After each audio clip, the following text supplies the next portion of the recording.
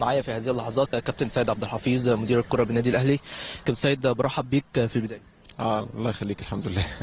عايزين نتكلم طبعا في البداية. أنت كنت متواجد قبل بعثة النادي الأهلي ما توصل. عايزين نطمن على كل الترتيبات لاستضافة بعثة النادي الأهلي هنا في تونس. الحمد لله الأمور كانت كويسة. طبعا بشكر سيد سيف النبي الحبشي والراجل قدم مجهود طيب جدا ورائع جدا. والحمد لله الأمور كلها على أحسن ما يكون الحمد لله.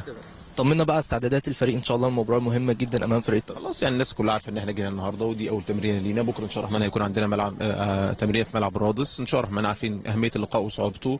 أتمنى يخرج بشكل يليق بيه. هو نهائي مبكر بالتأكيد. أفريقيا كلها مهتمية بيه مش على مستوى الافريقي بس والعربي كمان.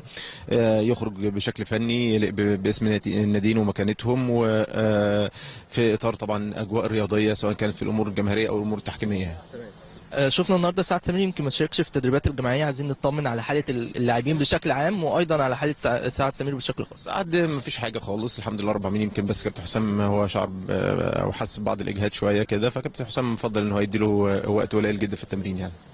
متفائل كابتن سيد إن شاء الله. إن شاء الله الرحمن طبعا شخصية اللعيبة وتاريخهم ومباراه كبيرة بالتأكيد. كل اللي أقدر أوعد بيه إن ما فيش حد هيبخل بنقطة عرق واحدة وإن شاء الله الرحمن نكون موفقين ونرجع بطوله التاهل بإذن الله. الرسالة اللي الجهاز الفني دايما بيتكلم فيها مع اللاعبين قبل مباراة مهمة زي دي خصوصا بعد التعادل في في مصر. طبعا 2 لا الرسالة هي شخصية النادي يعني مكان اسم النادي ومكانته وفي الآخر أنت بتلعب مباراة كبيرة مباراة مهمة مباراة صعبة. فالمباراه المهمة والمباراه الصعبة يعني بيبقى فيها قدرات وفيها إمكانيات بالتأكيد لكن حالة التوفيق اللي بتصاحبها في, اليوم ده يا رب نكون إحنا موفقين وإن شاء الله الرحمن نحسم البطاقة بإذن الله. عايز أخد معلش تعليقك سريعا على حضور الجماهير في المباراة الاخيره للنادي الأهلي. أنت ما كنتش متواجد لكن كان في جمهور غفير جدا كان متواجد. أكتر ناس أكتر ناس طبعا يهمها ويكون في مصلحتها التواجد الجماهيري بالتأكيد يعني.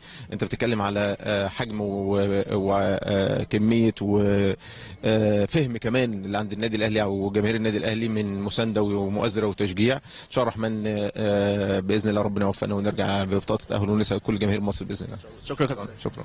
ده كان لقائنا مع كابتن سيد عبد الحفيظ.